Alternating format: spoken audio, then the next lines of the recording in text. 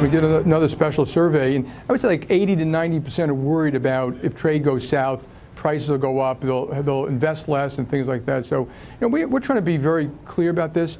We think the president has raised some very critical issues about trade, particularly with China, around state-owned enterprises, fair competition, uh, uh, market access, uh, the ability to own 100% of a company.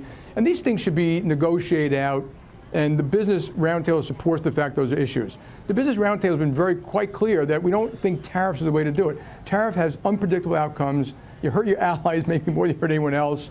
Uh, people tend to retaliate. You can incite nationalism in countries because you know, it's not the same thing if you and I negotiate and we're being tough on each other than you know if you put a country in a very tough position, how they might have to react. So it just has it can create these potential negative outcomes.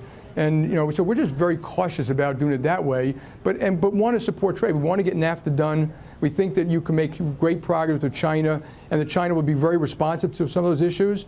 Uh, so that's, that's what we're pushing on for trade. Very quickly, the, the latest coming from the White House is, is that they are looking for bilateral talks instead of a, a, NAFTA between Canada, Mexico, and the United States, bilateral talks with us in Mexico and with us in Canada. What do you think about that, Jamie? Well, I've disagreed. You know, we're, we're stuck here on two issues, okay? The sun, for NAFTA, the sunset provision, right. which basically the president has today. He can rip it up whenever he wants. So why we're negotiating for it, I don't know you know, it just creates more uncertainty for everybody else. You could argue the uncertainty is there anyway, but the fact is you want more consistency. And there's other one called various forms of arbitration mm -hmm. that you can go to an uh, effective arbitrator as opposed to courts in Mexico, Canada, the United States. Creates a little more certainty.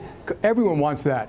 And you know, you can make an argument why it might be better for the United States not to have it. It's better for our friendship with our neighbors. It's better for the companies. It's better for certainty. And I think personally that we should give that up and finish NAFTA. There are a lot of things that they have already negotiated and modernized NAFTA. So I'm quite in favor of doing that. And uh, uh, so it's just important we get these things done. Personally, I would have done TPP.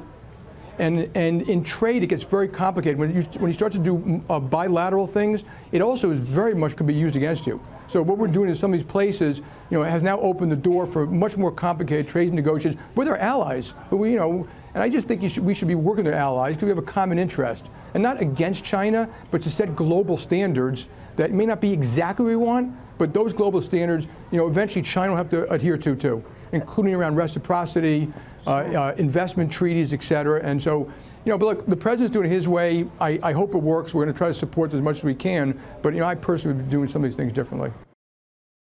Hey there, thanks for checking out CNBC on YouTube. Be sure to subscribe to stay up to date on all of the day's biggest stories. You can also click on any of the videos around me to watch the latest from CNBC.